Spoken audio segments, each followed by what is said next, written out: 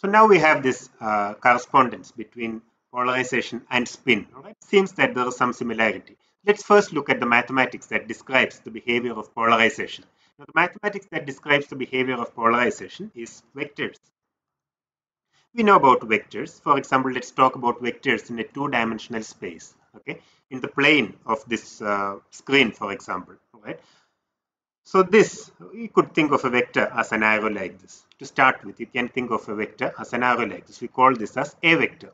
Now this A vector has its own existence in this plane, all right? It has its own, you can think of it as having a physical existence in this two-dimensional space, all right? Now to understand it better, to analyze it, we can choose a coordinate system. We can choose a coordinate system. We choose an XY coordinate system called as the Cartesian coordinate system. XY, all right? Now we can also choose what we call as base vectors. We can choose unit vectors along the coordinate axis, right? We can choose a unit vector like this, x hat and y hat. Okay, this x and x hat and y hat can be called as base vectors. This can be called as base vectors. All right. Now, what's importance? Uh, okay, what what's one of the uses of these base vectors? The idea is that any vector in this plane can be written as a linear combination of these base vectors. Alright, any vector in this plane can be written as a linear combination of these vectors. Okay, for example, in this case, a vector can be written as a sum of two vectors. It can be written as a resultant of two vectors. Or in other words, you can decompose a vector into two directions. Okay, you can write it as a resultant of two vectors, one in the x direction and the other in the y direction. Right? So you have got this a vector here. You can write it as a uh, resultant of two vectors, one in the x direction and one in the y direction. Right? So we are decomposing these vectors. So this vector we can call it as ax x hat and this as ay y hat. So this a vector can be written as ax x hat plus ay y hat. Okay, this ax is called the component of a vector along the x direction okay? And this ay is called the component of a vector along the y direction. In this case this a vector has components along both x and y directions right? There's another way to write this. If you take for example x dot a okay x hat dot a vector you see that this is equal to ax x dot x x dot x is 1 these are unit vectors. X dot y is 0 because these are orthogonal all right? So this is simply ax all right? So what's one way to find these components of a vector? If you want to find the x component of a vector what you do is that you project a vector along the x hat direction all right? So when when i say project a vector along x hat direction what i mean is that i take the scalar product i take the dot product of a vector with x hat okay so ax can be written as x hat dot a vector. What does this mean? This means this ax is the projection projection of a vector along x hat direction. So if you want to take the projection of a vector along any particular direction, just take the unit vector corresponding to that direction and construct the scalar product with the vector. That would be the projection okay? You could call ax as the component of a vector along the x direction right? So with, in this language this a vector can be written as okay a vector can be written as x hat dot a vector okay? This is the component of a vector along the x direction. So this is x hat dot a vector x hat plus y hat dot a vector in the y hat direction. Okay it's exactly the same thing that i've written here. I've just decomposed the given vector uh, along the two directions. So we can write a vector, we can decompose a given vector. This is very important. This is something that we'll be using in quantum mechanics also. Okay, so the same kind of logic will be used also in quantum mechanics. So the idea is that a vector can be decomposed into two vectors in a plane. Now you can easily generalize it to three dimensions or four dimensions, whichever dimensions you like. Right? So we live in a three-dimensional space. In three dimensions, we write a vector as ax x hat plus ay y hat plus az z hat. Okay or we can write this as x hat dot a vector in the x direction plus x, y hat y hat dot a vector in the y direction plus z hat dot a vector in the z direction. Right so this logic can work for any number of dimensions. Okay this is fine we can easily extend it to any number of dimensions. The basic logic can be extended to any number of dimensions. So what what we have seen here is that we can decompose uh, a given vector in terms of the base vectors. Okay? We can write a given vector as a linear combination of the base vectors. Right? Now the base vectors are not unique. Right? There's nothing that tells us that you have to choose a particular set of vectors as base vectors. Right for example you could choose any set of orthogonal vectors right? Any two orthogonal vectors as base vectors okay? For example i could choose another set of base vectors x hat prime and orthogonal to that okay? We, for convenience we'll use orthogonal coordinate system. And orthogonal to that we can use y hat prime okay? So xy could be a good choice for base base vectors. You could also choose x hat prime and y hat prime as base vectors all right. Now just as we decompose a vector in the xy basis we could also decompose a vector in the x prime y prime basis. How do we do that? We write a vector is equal to a let's write it like this x prime dot a vector. This would give you the component of a vector along the x prime direction okay plus y prime dot a vector along the y prime direction. So the choice of basis is not unique okay? Choice of basis is not unique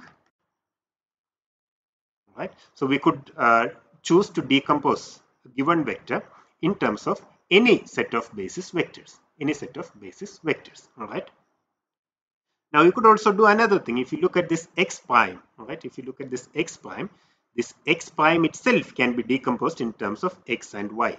This x prime direction it is a unit vector again in this plane in, in this plane okay? You could decompose this x prime in terms of x and y also. How do we do that? You just use the same rule. You could write x prime is equal to x hat dot x prime in the x hat direction plus uh, so this would be y hat y hat dot x prime in the y direction right so x hat dot x prime will give you the component of x prime in the x direction okay?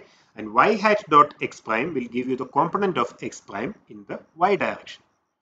So since these are unit vectors this would be simply the cosine of the angle between them right? this would be simply the cosine of the angle between them because we know that if you want to take a vector dot b vector it is modulus of a vector modulus of b vector cos theta okay so this can be further written as cos theta x hat plus cos theta or let's say cos 90 minus theta y hat. Let's now try to understand the qualitative description of the behavior of polarization. Okay, so we are using we are doing this within the framework of classical electrodynamics. We are not using the language of photons or quantum mechanics. This is just good old classical electrodynamics. Okay, so in classical electrodynamics, an X prime polarized uh, and a light beam polarized in the x prime direction can be represented like this all right we are just giving the electric field here this is e0 x prime cos kz minus omega t okay. so the x prime here says that the oscillation of the electric field is in the x prime direction okay this is an x prime polarized beam and similarly, Y prime polarized beam can be represented, the electric field part of it can be represented as E0 Y prime cos kz minus omega t. Alright. So the kz minus omega t here says that the direction of propagation is along the z axis. Okay. So this is an X prime polarized wave which is moving along the z direction. Let's look at the picture here. We have got the x direction denoted by x hat. We have got the y direction denoted by y hat. We also have this x prime direction or x hat prime direction which is at, which makes an angle 45 degree with the x-axis all right and perpendicular to the x prime direction is the y prime direction all right so this makes an angle 45 degree with the y axis and it makes an angle 90 plus 45 with the x axis okay because this uh, angle is 90 all right Now we know how to expand this x prime in terms of x and y. Okay, so that's what we just said before, but I will repeat it. This x prime can be written as x dot x prime in the x direction plus uh, x dot sorry this is the x component plus y dot x prime. This is the y component in the y direction. So what we are doing here is we are writing x prime as a resultant of two vectors. We are writing x prime as a resultant of two vectors. One vector like that and one vector like that. Okay? In the same way we see that we can write y prime as a resultant of two vectors one like that and the other one like that. You see that this vector is along the minus x direction so that will this the when when we write it this will pick up an extra minus sign that's just straightforward. So i'll, expl I'll explain just this. What is x dot x prime? We, we have already said that the angle between them is 45 degree okay? So this is these are unit vectors. So this is simply cos 45 x hat plus again the angle between x prime and y x prime and y the angle between them is also 45 so this is also cos 45 y hat okay so this cos 45 we know that is 1 by root 2 this is 1 by root 2 x hat plus 1 by root 2 y hat. Okay? So this x prime can be written as 1 by root 2 x hat plus 1 by root 2 y hat we have just written we have just decomposed x prime into two vectors. Okay? 1 by root 2 x hat and 1 by root 2 y hat. So if i substitute this here this expression becomes E0. E0 is still there. Okay, cos kz minus omega t is there in both expression. And instead of x prime, we have got 1 by root 2 x hat plus 1 by root 2 y hat. Okay. In the same way, we could also expand this y prime here. All right. And as I said, there will be a minus sign here because we are writing it as a resultant of two vectors and one of the vectors is in the minus x direction all right or you could just blindly do this you could simply write this as okay we could you could simply write this as y prime is equal to we will have an x dot y prime. This is the component of y prime along the x direction okay plus y dot y prime the component of y along component of y prime along the y direction all right. Now if you take the angle between x dot sorry x and y prime if you take the angle between x and y prime and just take the cosine of it you'll get this minus sign right so you could also do it just mechanically okay? So if you do that you see that this can be written as minus 1 by root 2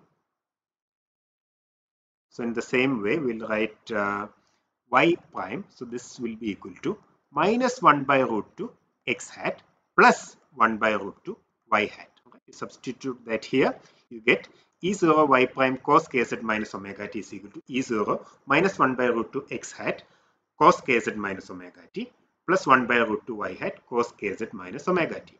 Okay. Now, if you look at this x prime polarization, right? If you look at this x prime polarization, you see that we are writing it as a linear combination of an x polarized beam and a y polarized beam, right? What we have here is an x polarized beam, right? E0 uh, x hat cos kz minus omega t is an x polarized beam. Similarly, E0 y hat cos kz minus omega t is a y polarized beam. So we are writing this x prime polarized beam as a resultant of uh, or as a linear combination of an, of an x polarized beam and a y polarized beam. Okay. In other words, an x prime polarized beam has components along the x direction as well as along the y direction okay. Now if i send this to an x filter i'll get this component. So there will be an output. And if i subject this this to a y filter i'll be getting this component. All right. And again there will be a uh, there will be an output. All right. Similarly we see that the y prime polarization okay y prime polarized beam can be written as a linear combination of two beams one polarized along the x direction and the other polarized along y y direction Right? For this reason, if I subject this y prime polarized beam to a y filter, I'll get this component. And if I subject it to an x filter, I'll be getting this component. All right. So this is how it works.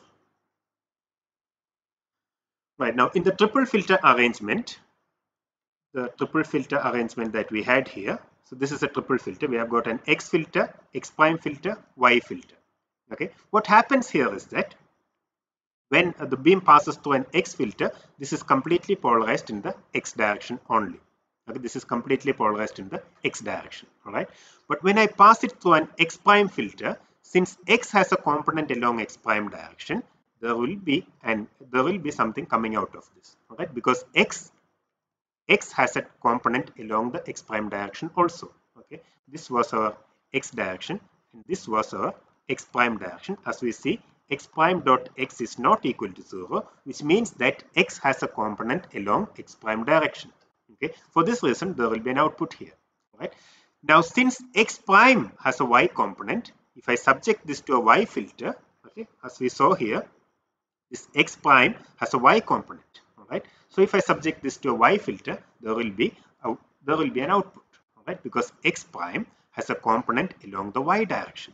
x prime has a component along y direction okay since x prime has a component along y direction there will be some output here. This is what is happening. This is how we describe the behavior of uh, Polaroids and polarization. Okay. All right. So the beam coming out of the first Polaroid, Polaroid is an X-polarized beam which can be regarded as a linear combination of an X-prime polarized beam and a Y-prime polarized beam. Okay. The second Polaroid selects the X-prime polarized beam which can in turn be regarded as a linear combination of an X polarized and a Y polarized beam. Okay. Now, since this has a component, it, since this beam can be written as a combination of a Y polarized and an X polarized beam, when I subject it to a Y filter, it will just filter out this component. Okay. Finally, the third Polaroid selects the Y polarized component. This is what is happening here.